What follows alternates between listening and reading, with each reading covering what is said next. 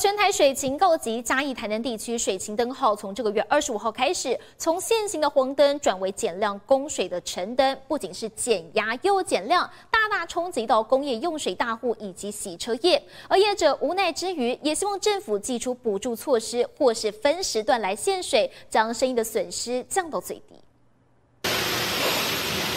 用强力水柱将泡沫冲洗干净，还要重复检查车子的每个角落，这是洗车业者的工作日常。不过现在却碰上难关。